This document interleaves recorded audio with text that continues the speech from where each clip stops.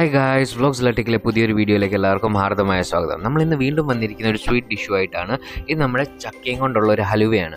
അപ്പോൾ ഈ ഒരു ഹലുവ എങ്ങനെയാണ് പ്രിപ്പയർ ചെയ്യുന്നത് നമുക്ക് നോക്കാം. ആദ്യം തന്നെ നമുക്ക് വേണ്ട തേങ്ങ ചെറിയ തേങ്ങയും കൊത്തിയെടുത്ത തേങ്ങയാണ്. പിന്നെ വേണ്ട നെയ്യ് പിന്നെ വേണ്ട തേങ്ങ പാൽപ്പൊടിയാണ് നമ്മൾ എടുക്കുന്നത്. അത് കഴിഞ്ഞിട്ട് നമ്മുടെ ചക്ക മെയിൻ വിഭവമായ ചക്ക. പിന്നെ നമുക്ക് കുറച്ച് നട്ട്സ് ഇനി ചക്ക നമുക്ക് ചെറുതായിട്ട് അരിഞ്ഞെടുക്കാം. അതിന്റെ കൂടെ തന്നെ നമുക്ക് ഇത്തിരി ഇളം ചൂടുവെള്ളത്തിൽ നമ്മുടെ തേങ്ങാ പാൽപ്പൊടിയും കലക്കി വെക്കാം. ഇനി ഒരു പാത്രം എടുത്ത് ചൂടാക്കി അതിൽ കുറച്ച് നെയ്യ് ഒഴിച്ചിട്ട് ആ നെയ്യ്ക്കകത്ത് നിങ്ങൾക്ക് ഇഷ്ടമുള്ള അളവിൽ നെയ്യ് ഒഴിക്കാം കേട്ടോ. അപ്പോൾ അത്രയും കൂടി പോലെ പക്ഷേ ഒരു മിനിമം റേഞ്ചിൽ നിങ്ങൾക്ക് വേണ്ട അത്രയും നെയ്യ് നെയ്യ് എടുക്കാം. അത് കഴിഞ്ഞിട്ട് നിങ്ങൾക്ക് നമ്മുടെ തേങ്ങ കൊത്തി വെച്ച തേങ്ങ ഇടാം. പിന്നെ നട്ട്സും കൂടെ ഇട്ടിട്ട് നല്ല രീതിയിൽ മൂത്ത് വരുമ്പോഴത്തേക്കും നമ്മൾ അരിഞ്ഞു വെച്ച നമ്മുടെ ചക്കപ്പഴം അതും കൂടെ ഇട്ടിട്ട് നല്ല രീതിയിൽ ഇളക്കി വെക്കാം അപ്പം ഇതിൽ നല്ല രീതിയിൽ ഇളക്കി വരുമ്പോഴത്തേക്കും ഇതിൽ കുറച്ച് എന്താണ് നമ്മുടെ ആ ഒരു നെയ്യിൽ കിടന്ന് നമ്മുടെ ചക്ക നന്നായിട്ടൊന്ന് വരട്ടി കിട്ടണം. അപ്പം അതിന് വേണ്ടിയിട്ടാണ് നമ്മളിങ്ങനെ എടുക്കുന്നത്. അപ്പോൾ അത് ഈ പീസ് പോലെ തന്നെ ഇരിക്കും കേട്ടോ. അപ്പം വരണ് വരുമ്പോഴത്തേക്കും. അപ്പോൾ നമുക്കിത് നല്ല രീതിയിലൊന്ന് വരട്ടിയെടുക്കാം അത് കഴിഞ്ഞിട്ട് നമുക്ക് നമ്മുടെ പാൽ നമ്മുടെ തേങ്ങാപ്പാൽ നമുക്ക് അതിലോട്ടേക്ക് ഒഴിച്ചു കൊടുക്കാം.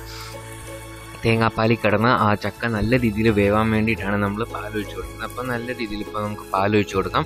നമ്മൾ ഫുൾ ആ ഒരു പാക്കറ്റ് ആ ഫുൾ പാക്കറ്റ് നമ്മൾ തേങ്ങ എടുത്തിട്ടുണ്ട്. അതിന്റെ കൂടെ ഒരു കപ്പ് വെള്ളത്തിലാണ് ആ പാൽ നമ്മൾ എല്ലാം ചൂടുവെള്ളത്തിലാണ് നന്നായിട്ട് നമ്മൾ മിക്സ് ചെയ്തെടുത്തത്.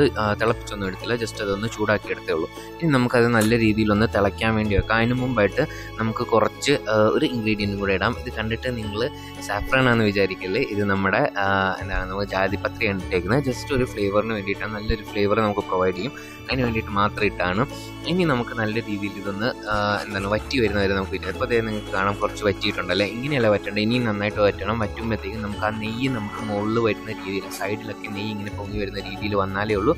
നമ്മുടെ എന്താണ് നമ്മുടെ ഈ ഒരു ഡിഷ് കംപ്ലീറ്റ് ആകത്തുള്ളൂ. അതിന് മുമ്പ് നമുക്ക് കുറച്ച് നമ്മുടെ ഏലയ്ക്ക പൊടിച്ച ഏലയ്ക്ക നമുക്ക് ഇട്ട് കൊടുക്കാം. അതും നല്ലൊരു ഫ്രീഗ്രൻസ് ആണ് നമുക്ക് പ്രൊവൈഡ് ചെയ്യുന്നത്. ഇനി അടുത്തായിട്ട് നമുക്ക് ജസ്റ്റ് കുറച്ച് നേരം കൂടെ വെയിറ്റ് ചെയ്യുമ്പോഴത്തേക്ക് നിങ്ങൾക്ക് കാണാം. സൈഡിൽ നിന്ന് നമ്മുടെ നെയ്യൊക്കെ നല്ല രീതിയിൽ കാണുന്ന പരുവത്തിലായിട്ടുണ്ട്. അപ്പോൾ നമുക്കത് ജസ്റ്റ് ഒന്നും കൂടെ ഒരു രണ്ട് മിനിറ്റും കൂടെ വെക്കാം. അതിന് മുമ്പ് നമുക്ക് ചെറിയ വെച്ച തേങ്ങ അതും കൂടെ ആഡ് ചെയ്തേക്കാം. അതും കൂടെ ആഡ് ചെയ്തിട്ട് നന്നായിട്ട് നമ്മൾ ഇളക്കിയെടുക്കാം. അപ്പോൾ നമുക്ക് നല്ല രീതിയിൽ ഇളക്കി വരുമ്പോഴത്തേക്കും നമുക്ക് നമ്മുടെ നെയ് സൈഡിൽ നിന്ന് പൊങ്ങി വരുന്നത് നമുക്ക് കാണാൻ പറ്റുന്നുണ്ട് അല്ലേ? ശകലിച്ച ശകലിച്ച നെയ്യ് നമുക്ക് കാണാൻ പറ്റുന്നുണ്ട്. ഇനി നമുക്ക് കുറച്ചും കൂടെ ഏലക്കപ്പൊടിയും കൂടെ ചേർത്തിട്ട് നമുക്ക് നല്ല രീതിയിൽ ഇളക്കാം. അത് കഴിഞ്ഞിട്ട് നമുക്ക് കുറച്ച് ഏലക്കപ്പൊടിയും കൂടെ മുകളിൽ നിന്ന് വിതറി അടപ്പ് വെച്ച് മൂടി വെക്കാം. ഒരു രണ്ട് മിനിറ്റ് മൂടി വെക്കുമ്പോഴത്തേക്കും അത് നല്ല രീതിയിലുള്ള ഫ്രാഗ്രൻസ് വരും. അപ്പോൾ നമുക്കിത് നല്ല ഗ്യാസിൽ നിന്ന് നമുക്ക് എടുക്കാം.